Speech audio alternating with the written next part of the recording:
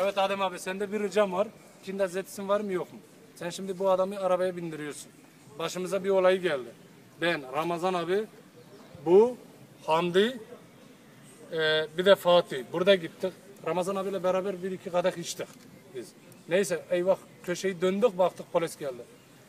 Dedim Ramazan abi arabayı çek kenara boş ver dedim. Sen eve git de biz yürüyerek gideriz. Polis geldi şimdi alkol kullandı diye.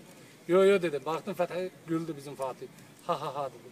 Ramazan abi hiç korkma dedi. Hamdi'yi sorarlar dedi. Tam dur dediği anda durduk. Hamdi camda fırladı. Lan Hamdi sakin ol koçum dedi. Bunlar benim için geldi. Niye?